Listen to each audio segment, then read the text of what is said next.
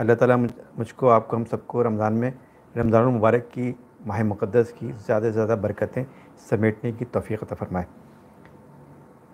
पीर को इजलास है सिंध असम्बली का और इसमें एम के एम पाकिस्तान ने फ़ैसला कर लिया है कि जी, वो अली खुर्शीदी साहब को जो है, वो अपोजिशन लीडर बनाएँगे और उन्होंने नामज़द भी कर दिया उनको अपोजिशन लीडर के लिए और वो जो है चाहते हैं कि वो अपोजिशन लीडर बने सिंध असम्बली के अंदर। इसके अलावा बिगड़ती हुई अमन अमान की जो सूरत हाल है, उस पर जो है वो एम के एम की रबता कमेटी ने काफ़ी तशवीश का इजहार किया है। ये कुछ गुजशत कुछ दिनों से मुसलसल बयान दे रहे हैं। और कल भी एक ही व्लॉग लाइव सेशन में किया था डॉक्टर रशीद जमाल साहब के साथ। और उसमें जो है वो काफ़ी जो है वो मैंने कल ज़ाहिर वो उनचास लोग इस वक्त जो है ना कराची में अपनी जानों से हाथ धो बैठे हैं। और ये उनचास लोग कराची इसी शहर के रहने वाले हैं। और किसी न किसी के मोहल्ले में है, किसी किसी का रिश्तेदार है, कोई, किसी का भाई है, किसी का बेटा है, किसी का बाप है तो ये इसी शहर के लोग हैं। आज जो है वो वहाँ से गए, कल का हमारे हमारे में से कोई जा सकता है, कल को मेरी भी बारी हो सकती है। तो ये जिस तरह से लॉ एंड ऑर्डर सिचुएशन बिगड़ रही है, जिस तरह से लोगों को डाकू मार रहे हैं तो उस पर जो है वो तशवीश का इजहार ही किया जा रहा है अब तक, और इसके अलावा बस एक करारदाद जमा करा दी है सिंध असम्बली के अंदर। और कहा है कि जी अब जो है पंद्रह दिन के बाद जब रमज़ान ख़त्म हो जाएँगे, ईद के बाद फिर चीफ मिनिस्टर हाउस का जो है वो घेराव भी करेंगे और उनको जाके एक याददाश्त पेश की जाएगी कि ये क्राइम बहुत बढ़ गया है यहाँ पर और आप इसको रोकें। तो ये चीज़ तो बहरहाल मुतालबात ही मुतालबात हैं सिर्फ़। और इसके अलावा अभी तक एम पाकिस्तान जो है वो उन्होंने फ़िलहाल और कुछ नहीं किया है। और अभी भी कह रहे हैं कि करारदाद जमा करा दी एक मजम्मती करारदाद होगी और जमा करा दी और वो जो है वो उसकी जो है वो उस पर कोई कहेंगे कि इस पर बहस मुबासा और हुकूमत पर ज़ोर डालेंगे कि जी वो इसको जो है वो रोके। लेकिन हुकूमत का अभी तक जो है वो आ, कोई अभी तक कोई कारकर्दगी नज़र नहीं आ रही है। नए आई जी साहब भी आ गए नए आई जी साहब ने भी आज लॉ एंड ऑर्डर मीटिंग की है और उसकी भी हम जो है वो उसका भी तस्करा करते हैं नीचे चलकर। लेकिन अभी तक कोई ख़ास डेवलपमेंट नज़र नहीं आ रही है। जो भी लॉ एंड ऑर्डर सिचुएशन है। उस पर जो है वो एम के एम के सीनियर रहनुमा हैं, फ़ारूक सत्तार साहब, वो कहते हैं कि शहर को जो है वो हुकूमत सिंध ने दानिस्ता तौर पर डाकों के हवाले कर दिया है। और उनका कहना है सूबाई हुकूमत ने तहफ़ के लिए इकदाम न किए तो ऐवानों और सड़कों पर एहतजाज होगा। करें ना भाई, कब होगा? कब करेंगे? बस कहना ही कहना है, ये करेंगे भी। और करेंगे तो कब? जब और भी ये उनचास लोग जो मर चुके हैं तो क्या अभी और भी जो है वो इंतज़ार कर रहे हैं? और किस चीज़ का इंतज़ार कर रही है एम के समझ में नहीं आता बहरहाल ये। अच्छा इंस्पेक्टर जनरल पुलिस यानी कि आईजी सिंध ने आज जो सीना झपटी के वाक़ात और जो डकैती मजामत हो रही है, इसमें जो उनचास लोग इसी साल, जनवरी से लेकर अब तक, जो मारे जा चुके हैं, उस पर उन्होंने भी जो है वो कहा है कि ये नाकबिल बर्दाश्त है कि डकैती मजामत पर कत्ल ज़ख्मी हो। तो अभी तक उनचास लोग जो ऑफिशियल फिगर है, उनकी मीटिंग में भी यही डिस्कस हुआ है कि उनचास अफराद जो है, वो मारे जा चुके हैं और साढ़े छः सौ अफराद छः सौ पचास अफराद। ये ज़ख्मी हुए हैं, डाकुओं ने इनको गोली मारी है, लेकिन इनकी जान बच गई है और ये ज़ख्मी हुए हैं। और ज़ख्मी होने के बाद ये अस्पतालों में दाखिल हुए हैं और इनका जो है वो इलाज हुआ। आमिर साहब कहते हैं आमिर साहब कहते हैं, अस्सलाम वालेकुम, वेलकम सागा कनाडा। जी, वालेकुम अस्सलाम, गुफरान तैमूरी साहब कहते हैं, अस्सलाम वालेकुम, अरमान जी जी, वालेकुम अस्सलाम। अरमान भाई आदाब, सलाम and good morning good afternoon from Boston Saeed Haq साहब कहते हैं, जी, बहुत बहुत शुक्रिया सैद हक साहब। आप सब लोगों का बहुत बहुत शुक्रिया कि आप लोग जो है वो अब, आप लोगों ने कमेंट किए हैं आप लोगों ने कमेंट में जो है हिस्सा लिया। आपका बहुत बहुत शुक्रिया। इसके अलावा और भी जो लोग देख रहे हैं, उनका भी बहुत बहुत शुक्रिया। तो ये बात हो रही है कि लॉ एंड ऑर्डर सिचुएशन जो कराची में इस वक्त है और कराची में जो लॉ एंड ऑर्डर सिचुएशन है, वो बहुत गंभीर है। और अभी तक जो है वो पुलिस जो है वो उन्होंने कोई बहुत ज़्यादा कोई खातर खा इकदाम अब तक नहीं किए हैं। ना ही लोगों को कोई पकड़ा जा रहा है, ना इस तरह से कोई बात हो रही है कि उसका रिज़ल्ट क्या है। रिज़ल्ट कुछ भी नहीं है। नील बटा नील है, वही वही वारदातें हो रही हैं, हज़ार के करीब रोज़ाना की वारदातें हो रही हैं और उसमें जो है वो लोग ज़ख्मी हो रहे हैं या मारे जा रहे हैं। तो अभी तक जो है वो इसका कोई हासिल वसूल नहीं हुआ है। सिर्फ़ बातें बातें हो रही हैं, मीटिंग्स हो रही हैं ठंडे कमरों में बैठकर ठंडी मशीनों के अंदर जो है वो मीटिंग हो रही है। और मीटिंग्स में जो है वो जो रोज़ेदार नहीं होते होंगे, वो ज़ाहिर खैर, सरकारी दफातर में जो है वो रोज़े का एहतराम किया जाता है। तो जो इस वक्त मीटिंग्स हो रही हैं मीटिंग्स के बाद जो है वो मीटिंग बर्खास्त हो जाती है और हासिल रसूल क्या है रिज़ल्ट क्या है। रिज़ल्ट यही है कि उनचास लोग अब तक मारे जा चुके हैं। और साढ़े छः सौ साढ़े छः सौ अफराज जो हैं वो ज़ख्मी हो चुके हैं। सिर्फ़ मजामत करने में अपना ही माल बचाने के लिए, अपना ही माल जो है, अपना ही मोबाइल फ़ोन, अपने ही पैसे बचाने के लिए वो या तो मारे जा चुके हैं या ज़ख्मी हो चुके हैं। तो ये इस वक्त सिलसिला है। अब आप लोगों की क्या राय, अपनी राय से ज़रूर आगाह कीजिएगा और दूसरी बात एक और भी बताइए कि क्या ये कोई सिलसिला शुरू किया जाना चाहिए जिसमें आप लोगों की राय जो है वो बरह रास्त शामिल हो सके, आप लोगों को जो है वो बरह रास्त आपके कमेंट्स आपको आपको जो है वो वीडियो जो है, आपकी वीडियो फॉर्म में आप लोगों को बरह रास्त लिया जाए इंट्रैक्शन किया जाए आप लोगों के साथ। तो ये आप लोग बताइएगा कि आप लोगों का इस बारे में क्या ख्याल है। बानी मुतहदा अलताफ़ हुसैन साहब एक ख़ताब करेंगे आज और एम के एम लंदन सेक्रेटरीट का कहना है कि वो आज बानी मुतहदा जो है बहुत ऐलान, अहम ऐलान करने जा रहे हैं। और उनका ख़ताब शायद शुरू होने वाला है या शुरू हो चुका होगा। और अगर अब तक शुरू नहीं हुआ है तो शुरू होने वाला होगा। अच्छा एम के एम पी डोला फाइव मिनिस्ट्री लेने का इंतज़ार कर रहा है। जी फाइव मिनिस्ट्रीज़ तो उनको नहीं मिलेंगी बहरहाल।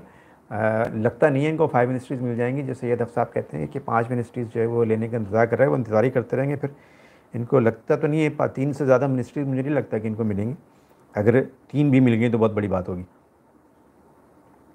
अच्छा महबान पाकिस्तान की एडहॉक कमेटी और महबान पाकिस्तान की पूरी तंजीम को तहरील कर दिया गया। ये इंटरनेशनल एक ऑर्गेनाइजेशन है महबान पाकिस्तान के नाम से, जो एम के एम बानी मुतहदा से रिलेटेड है, उनसे एफिलिएटेड है, और जो भी लोग हैं वहाँ पर तंजीम जो है, वो डोनेशन इकट्ठा करते हैं और डोनेशन इकट्ठा करने के बाद एम के एम के जो लोग हैं, जो कि ज़रूरतमंद हैं, जिनको जो है वो जिनकी मदद करनी है, जो माली इमदाद की मंतज़र हैं या जो कानूनी इमदाद की मंतज़र हैं तो उनको जो है वो उनकी देखभाल करने के फ़रज़ ये एक तंजीम जो है, वो खलीजी ममालिक में ये भी जो है वो एम की तरफ़ से ये भी सरगर्म है और ये भी काम कर रहे हैं। तो उनकी जो एक महबान पाकिस्तान की एडहॉक कमेटी है और महबा पाकिस्तान की पूरी की पूरी तंजीम जो है, पूरा स्ट्रक्चर उनका, वो उसको पूरे को जो है, वो तहरील कर दिया गया ये मुतदा गवर्नमेंट की रबता कमेटी के हंगामी इजलास में फ़ैसला किया गया है। लंदन सेक्रेटरीट से एक प्रेस रिलीज़ जारी हुआ है। उसमें जो है वो ये लिखा हुआ है सब कुछ।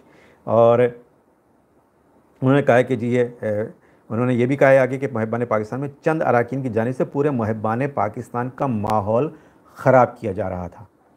और तंजीमी नज़म ज़ब्त की बार बार ख़िलाफ़ वर्जियाँ की जा रही थी। तो ये तंजीमी नज़म ज़ब्त की ख़िलाफ़ वर्जियाँ की जा रही थी और जो उनका जो है वो माहौल है, वो ख़राब किया जा रहा था। लिहाजा जो है, ये महबान पाकिस्तान की जो तंजीम है, इसको तहलील कर दिया गया है।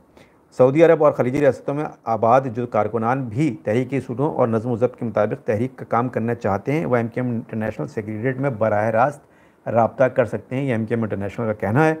और रबता कमेटी एम के एम के कायद अल्ताफ़ हुसैन ने रबता कमेटी के फ़ैसलों की तोसीक कर दी है। तो ये रबता कमेटी के जो फ़ैसले हुए हैं, इनकी तोसीक भी कर दी गई है और ये तहरील कर दी गई है और तहरीर करने की जो वजूहत हैं, वो इसमें बयान नहीं की गई हैं।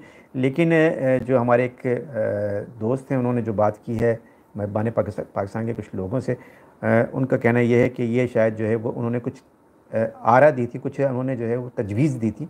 और तजवीज़ ये थी कि बकल उनके, ये कन्फर्मेशन इसकी जो है वो लंदन सेक्रेटरीट से तो बहरहाल नहीं हुई है, लेकिन उनकी जो, उनके बकौल, उनका कहना यह है कि वो पैसे जो हैं, वो डोनेशन जो जमा होता है, वो पहले जो है, वो लंदन भेजा जाता है और लंदन से जो है, वो फिर चैनलाइज होकर पाकिस्तान के जो उन ज़रूरतमंद जो है एम के एम कारकुनान हैं, उन तक पहुँचता है। वो माली कैश की सूरत में या अजनास की, वो वो जो कहते हैं चीज़ों की सूरत में या जिस सूरत में भी वो पहुँचता है, वो मदद बहरल की जाती है उसके ज़रिए।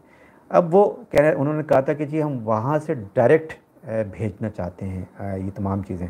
तो इस पर जो है वो तजवीज़ चूँकि मांगी नहीं गई थी। लिहाजा इस तरह की भी कुछ चीज़ें और भी कुछ इशूज़ थे जिनकी जो है वजह से वो जो कहा गया ना यहाँ पर कि पाकिस्तान महबान पाकिस्तान का माहौल ख़राब किया जा रहा था चंद अरकान की जानब से। तो वो जो चंद अरकान की जानब से जो माहौल ख़राब किया जा रहा था, उस वजह से जो है ये महबान तंजीम महबान पाकिस्तान की जो तंजीम है, ये एम ने लंदन सेक्रेटरीट का एक प्रेस रिलीज़ है, उसमें बताया गया कि ये डिज़ोल्व कर दी गई है।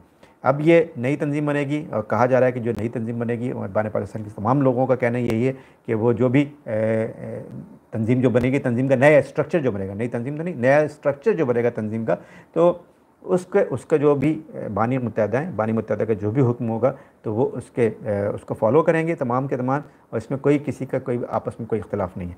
तो ये एक वहाँ से भी एक फ़ीडबैक आया था, वो भी आप लोगों के साथ शेयर कर दिया, यहाँ से भी जो आया था वो भी आपके साथ शेयर कर दिया कि इसमें जो है वो ऐसा कोई वो कहते हैं इसमें कोई इतनी बड़ी बात नहीं है, ये तंजीमी मामला हैं और तंजीमी मामला इस तरह से हो जाते हैं तहलील होती हैं और तहलील होने के बाद जो है वो दोबारा वो स्ट्रक्चर बन जाता है उसका और उसका जो स्ट्रक्चर जो भी बनता है तो उसका फिर फॉलो किया जाता है और अभी भी हम जो है सब फॉलो करेंगे। तो ये खलीजी ममालिक में जितने भी लोग हैं महबान पाकिस्तान के जो भी लोग हैं, वो कहते हैं कि अब नया जो भी लोग होंगे, जो भी नया तंजीमी स्ट्रक्चर होगा, हम उसका फॉलो करेंगे। तो ये एक एक जो है वो एक अपडेट थी, जो कि इस आई थी और बानी मुतहदा का ख़ताब जो है वो वहाँ पर, जो उनके चैनल्स हैं सोशल मीडिया के, उस पर वो शुरू हो चुका है।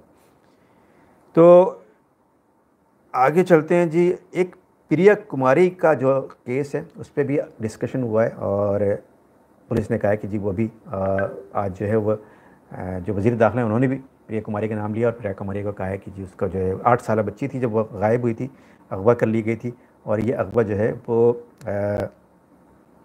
सखर से हुआ था सखर के एक इलाके से हुआ था और आ, इसको जो अगवा किया गया था वो अगवा किया गया था उन्नीस अगस्त 2021 को। तो अब ढाई साल से ज़्यादा हो चुके हैं और अभी तक इसको रिकवर नहीं किया जा चुका है। और इसके बारे में प्रिया कुमारी के बारे में मुख्तलिफ़ एहतजाजात हर थोड़े दिनों बाद जो है वो मुख्तलिफ़ सिंध के मुख्तलिफ़ इलाक़ों में हो रहे हैं, कराची में भी होते हैं बिरखुप ख़ास में भी, इसके अलावा भी और भी जगह हुए हैं। और लेकिन प्रिया कुमारी को आज तक जो है वो रिकवर नहीं किया गया है। दो साल से ज़्यादा हो चुके हैं, ढाई साल ढाई साल तकरीबन हो चुके हैं। अभी तक इसको रिकवर नहीं किया है। ये इस सूरत हाल है सिंध की लॉ एंड ऑर्डर की। और बहरहाल वजी दाखिला कहते हैं कि सिंध की सूरत हाल बहुत बेहतर है लॉ एंड ऑर्डर की और इसमें इसमें जो है कोई ऐसी परेशानी की बात नहीं है। लोग जो हैं वो बहुत बेहतर हैं जो दूध की नदियाँ, क्या होता है? दूध की नहरें, वो बह रही हैं। कोई मसला नहीं है, सब सब बिल्कुल सही है। बस कराची में थोड़ा बहुत मसला है, वो भी सही हो जाएगा। और जहाँ जहाँ रूटीन है, ये तो लाइफ है, जिस तरह से चल रही है, उसी तरह से जो है वो क्राइम भी होते हैं बड़े बड़े शहर हैं, बड़े शहरों में तो इस तरह से होता है।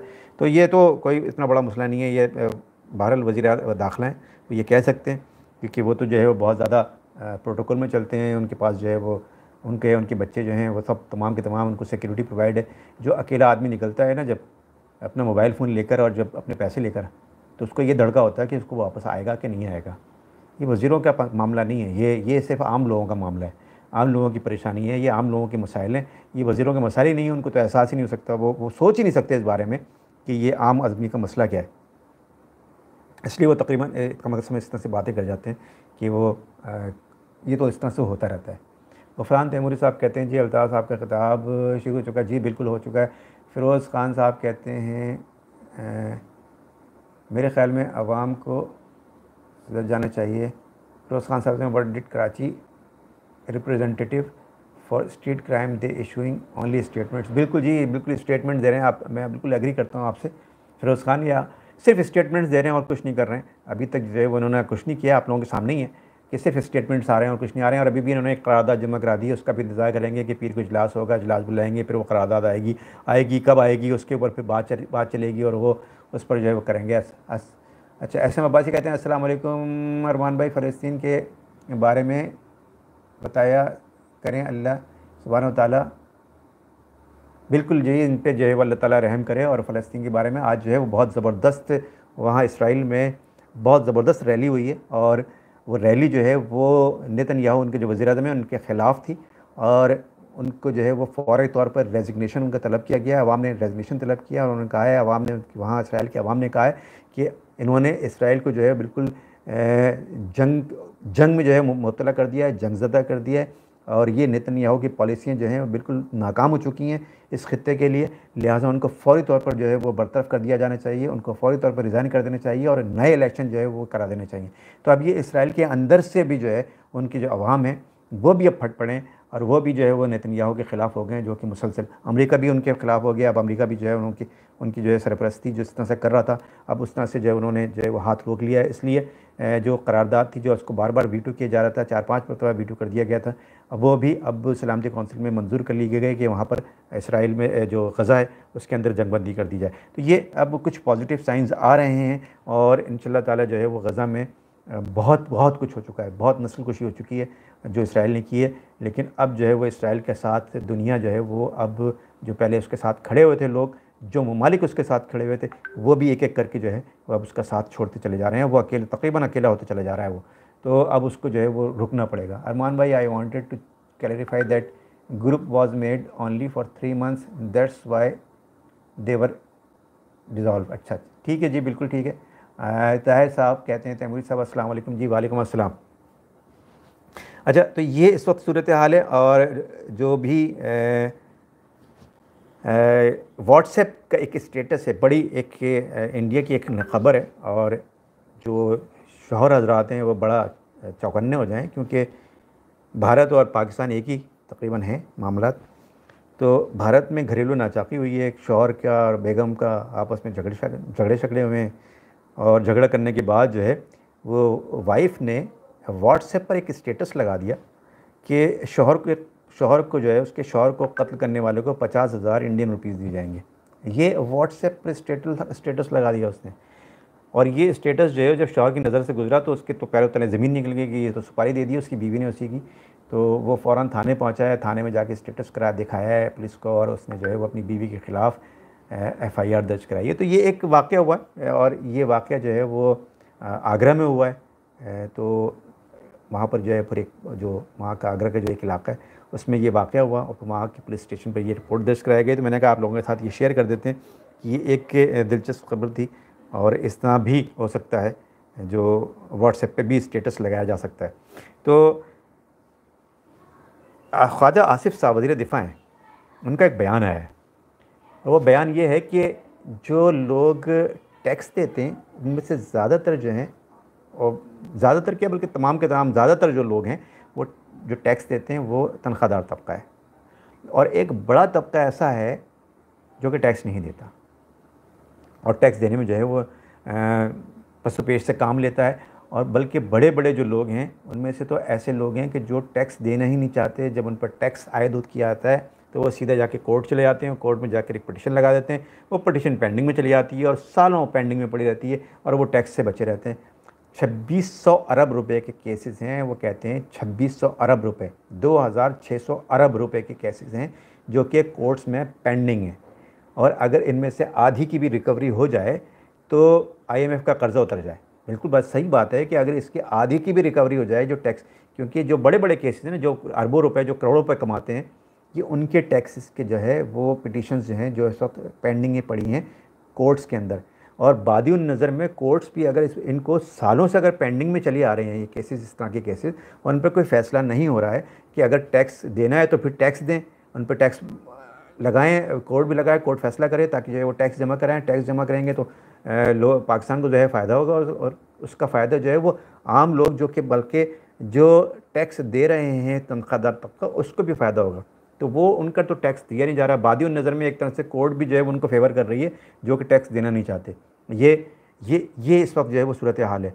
और कोर्ट्स को जो है वो चाहिए कि वो जो इस तरह के केसेस हैं, वो भी सुन लिया करें और वो भी जो है वो, उनका भी फैसले जल्द अज जल्द कर दें ताकि ये जो टैक्स के मामला तो इस वक्त ख़ास तौर पर पाकिस्तान जो मीशत में घिरा हुआ है, उसके जो माशी मामला हैं, वो थोड़ा पटरी पर आने, आ जाएँ। अगर छब्बीस सौ अरब रुपए के केसेस हैं तो इनको तो फौरी तौर पर सुनना चाहिए कोर्ट्स को। और इस वक्त जो है वो, वक्त की अहम ज़रूरत भी है कि इस तरह के केसेस को जो है जल्द अज जल्द निपटाया जाए।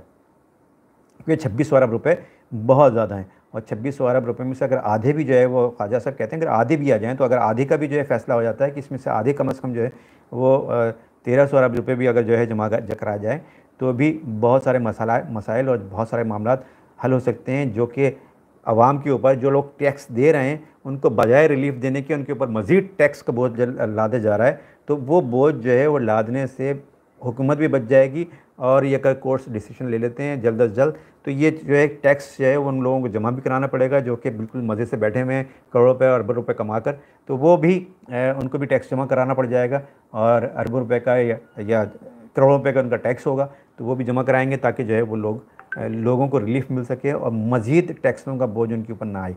तो ये एक बहुत ही अहम चीज़ है अहम अपडेट है और ये अहम चीज़ जो है वो इसको इस तरह से इग्नोर नहीं किया जाना चाहिए।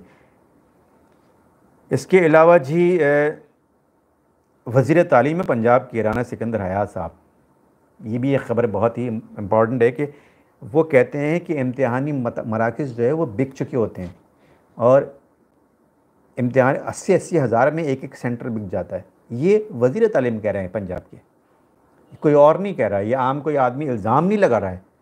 ये वज़ीर तालीम हैं, पंजाब की, वो ये, वो कह रहे हैं। तो ये पंजाब का ये हाल है तो सिंध का क्या हाल होगा? आप लोग अंदाज़ा कर लें कि सिंध में क्या हो रहा है। कि जहाँ जो है, वो तो गवर्नमेंट पर ट्रस्ट ही नहीं किया जा सकता यहाँ पर। जहाँ लोग गवर्नमेंट पर ट्रस्ट करने के लिए तैयार ही नहीं है। तो वहाँ पर क्या हाल होगा? वहाँ पर अभी इंटर बोर्ड के तो मामला था आपने, आप लोगों के सबके सामने है कि मैट्रिक बोर्ड में क्या हुआ और क्या नहीं हुआ। है इंटर बोर्ड में क्या हुआ है क्या नहीं हुआ, किस तरह से पर्चे और किस तरह से जो है वो आगे पीछे हुए हैं सारे के सारे पर्चे। जो जो ए वन ग्रेड लेकर आए थे, उनको जो है वो फेल कर दिया गया। तो ये सिंध के जो मामला हैं, मैं वही अर्ज़ कर रहा हूँ कि पंजाब के जो राना सिकंदर हयात साहब हैं, पंजाब के वज़ीर तलीम, वो कहते हैं अस्सी अस्सी हज़ार रुपये में एक एक इम्तहानी सेंटर बिक जाता है। और जो, ये जो ट्यूशन सेंटर्स हैं ना, ये ख़ास तौर पर इनके बारे में कहा गया है कि ये जो सोशल मीडिया पर फ़ी पर्चा जो है वो फ़ीस के पैगाम भी डाले हुए इन लेटर्स ने। प्राइवेट स्कूल्स माफिया ने अपने बच्चों को पोजीशन दिलवाने के लिए इम्तहानी सेंटर्स ख़रीद लिए हैं। ये ये धंधा भी चल रहा है एक कि ट्यूशन सेंटर्स जो हैं, जो कि अपने बच्चों को पोजीशन दिलवाना चाहते हैं तो वो उस पोजीशन दिलवाने के लिए सेंटर्स ख़रीद लेते हैं और सेंटर्स ख़रीद कर उस, उन मकाम उन सेंटर्स में बच्चों को नकल कराई जाती है। ताकि उनके नंबर बेहतरीन आ सकें और फिर वो नंबर दिलवाने में भी जो है वो ट्यूशन सेंटर्स जो हैं वो अहम किरदार अदा करते हैं, वहाँ पर भी पैसे वैसे खिलाते हैं, जब भी इतनी ज़्यादा ज़्यादा फ़ीसें भी लेते हैं और वो उन सेंटर्स में फिर रश भी जाता है। ज़ाहिर है उनके बच्चे जो हैं वो नंबर वन आ रहे हैं, नंबर टू आ रहे हैं, नंबर थ्री आ रहे हैं, पोजीशन होल्डर्स हैं, जी, ये जो ट्यूशन सेंटर है, ये तो बड़ा ज़बरदस्त काम कर रहा है। तो ये ये तमाम सेंटर्स की बात नहीं कर रहा हूँ, लेकिन ये जो है वो पंजाब की बात हो रही है और पंजाब में जो है ये मिनिस्टर साहब कह रहे हैं, मिनिस्टर का बयान है ये। ये कोई मैं, कोई आम आदमी का बयान नहीं है, ये मिनिस्टर कह रहे हैं। मिनिस्टर साहब कह रहे हैं, ये मिनिस्टर साहब बोल रहे हैं कि ट्यूशन सेंटर्स भी, स्कूल्स माफिया भी और tuition centre private schools mafia भी जो है वो ये करते हैं। स्कूल्स भी जो है वो बड़े बड़े जो है अपना नाम कहते हैं कि हम जो है वो हमारे यहाँ जो बच्चे पढ़ते हैं, वो हमारे यहाँ फ़र्स्ट पोजीशन और सेकंड पोजीशन और थर्ड पोजीशन आती है। तो ये स्कूल माफिया है, ट्यूशन सेंटर माफिया है, ये तमाम जो है ना लोग इस तरह की चीज़ों में मिले हुए हैं, सब जो है वो बैती गंगा में सब हाथ धो रहे हैं वैसे। तो ये इस वक्त जो है वो सूरत हाल है। सैयद हक साहब कहते हैं I think there should be a cap on salaries for government employees and no benefits except medical ये आपकी तजवीज़ हो सकती है, लेकिन गवर्नमेंट एम्प्लॉज़ तो बहुत सारे हैं। गवर्नमेंट एम्प्लॉज़ पे तो लगाना ज़रा मुश्किल है। हाँ जो कि बहुत अहम पोजीशंस पर हैं और जिनकी सैलरीज जो हैं वो बहुत ज़्यादा हैं। उनके ऊपर जो है सैलरीज के ऊपर यकीन कैप होना चाहिए और लोग जो हैं वो चालीस चालीस लाख रुपए भी कमा रहे हैं। तो वो क्यों कमा रहे हैं? किस वजह से कमा रहे हैं? और कौन से स्केल की वजह से जो है वो पैसे ले रहे हैं? गवर्नमेंट को तो कोई ऐसा स्केल नहीं है जिसमें चालीस लाख रुपये तनख्वाह हो। तो ऐसे भी है।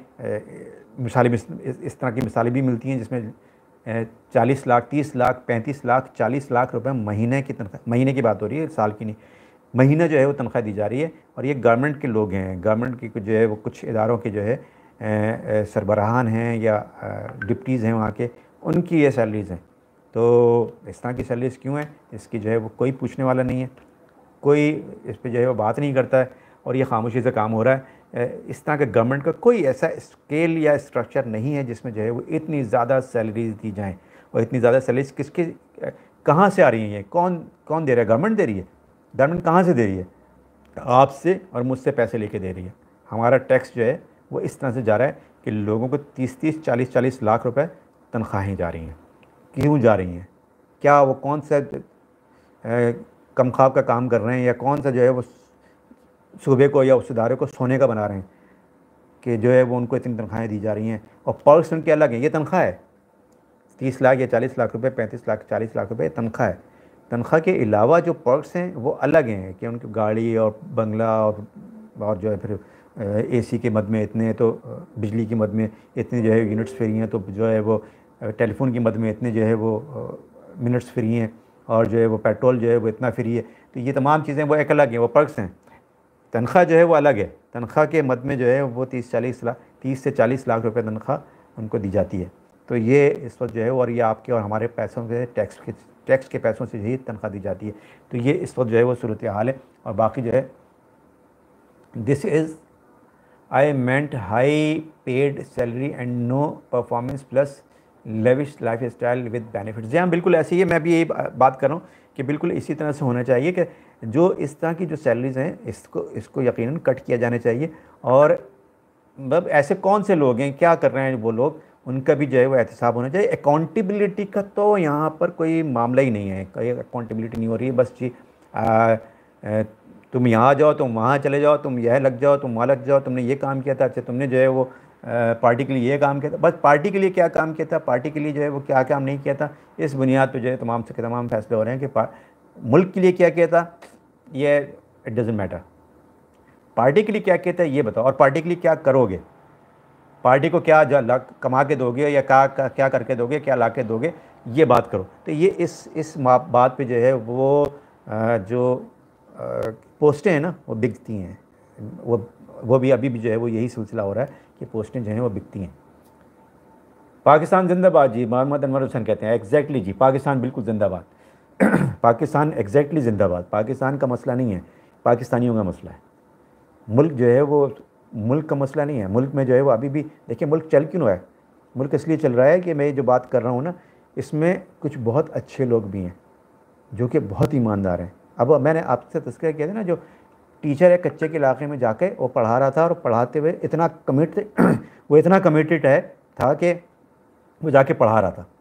और बच्चों को पढ़ा रहा था और उस डाकुओं ने उसको कहा गोली मार देंगे, उसके बावजूद उसने, उसकी कमिटमेंट जो है पढ़ाने की वो ख़त्म नहीं हुई, वो जाके पढ़ाता रहा। हालाँकि उसको कितनी सैलरी मिल रही है? एक प्राइमरी टीचर को कितनी सैलरी मिल रही होगी? लेकिन वो उसने जो है वो जाके पढ़ा। तो इस तरह के लोग मौजूद हैं, जो कि अपनी ड्यूटी बहुत कमिटमेंट के साथ कर रहे हैं। और वही लोग ऐसे हैं, जिनकी वजह से ये मुल्क चलता है, जिसकी वजह से ये सिस्टम चलता है, जिसकी वजह से तमाम चीज़ें चल रही हैं। ऐसे लोग हैं, बहुत कम लोग होंगे ऐसे। लेकिन ऐसे लोग मिलते हैं। अभी भी जो है वो अगर आप चलें, जाएँ, जा देख, देखें तो ऐसे लोग अभी भी आपको हर इदारे में तकरीबन कहीं ना कहीं जाके वो मिल जाते हैं। और वो इदारे जो है वो इसीलिए चल रहे हैं और ये मुल्क भी इसीलिए चल रहा है कि पाकिस्तान में अभी भी जो है वो दयानतदार लोगों की और कमिटेड लोगों की अभी भी कोई कमी नहीं है। लेकिन ओवरऑल जो है वो कहते हैं ना कि तालाब में एक मछली भी आ जाए तो पूरा तालाब ख़राब हो जाता है, गंदी मछली आ जाए। तो यहाँ बहुत सारी गंदी मछलियाँ हैं। तो इस वजह से ऐसा लगता है जैसे पूरा का पूरा तालाब ही ख़राब है, लेकिन पूरा तालाब बहरल ख़राब है नहीं। गंदी मछलियाँ बहुत ज़्यादा हैं, उनको जो है वो निकालना है, वो कैसे निकलेंगी, कैसे नहीं निकलेंगी, ये ये जब जो है वो अब सोचना होगा सब लोगों को, और ख़ास तौर पर उन लोगों को, जो कि ये सब कुछ सही करना चाहते हैं, और वह अरबाब इकतदार जो हैं, या मुख्तदरा जो हल्के हैं, वो इस वक्त बहुत संजीदा हैं कि पाकिस्तान के मामला बेहतर हों पाकिस्तान की माशी सूरत हाल बेहतर हो और पाकिस्तान डायरेक्शन बेहतर हो। डायरेक्शन सब सही सब में हो। इस वक्त जो कि मुख्तदरा हल्के हैं, वो इस वक्त ये सोच रहे हैं। और अगर वो ये सोच रहे हैं तो उनको जो है वो सही वक्त पर सही फैसले भी करने होंगे और सही लोगों को लगाना होगा। तो अल्लाह करे कि पाकिस्तान जो है वो तरक्की करे, खुशहाल हो और आवाम भी खुशहाल हो। तो पाकिस्तान ज़िंदाबाद यकीन पाकिस्तान ज़िंदाबाद। और अगर आप में जो लोग नए हैं, जिन्होंने अब तक ये चैनल अरमान सभी व्लॉग सब्सक्राइब नहीं किया है तो बर मेहरबानी, सब्सक्राइब कर लीजिएगा ताकि नई आने वाली वीडियोस और लाइव सेशन का जो बर वक्त नोटिफिकेशन है, वो मिल सके। और ये भी बताइएगा कि लाइव में आप लोगों को जो है वो आप लोग आना चाहेंगे अगर लाइव तो कोई एक दिन मुकर करेंगे जिस जो है वो फिर आप लोगों का जो है वो मैं आप लोगों से लिंक शेयर करूँ और जिसमें वो आप लोग लाइव आकर अपने कमेंट्स शेयर करें। आप लाइव मेरे प्रोग्राम के अंदर तो ये प्लेटफॉर्म जो है वो आप लोगों के लिए भी हाजिर होगा और उसमें जो है वो हम किसी एक दिन, हफ़्ते में कोई एक दिन मुकर कर लेंगे जिसमें जो है वो आप लोग आ सकें। तो अपना फ़ीडबैक इस पर ज़रूर दीजिएगा ताकि मुझे अंदाज़ा हो सके कि आप लोग जो है इंटरेस्टेड हैं इसमें। अपना बहुत ज़्यादा ख्याल रखिएगा। नए वीडियो के साथ या नए लाइव सेशन के साथ बात दोबारा हाजिर होंगे बहुत शुक्रिया। खुदा हाफ़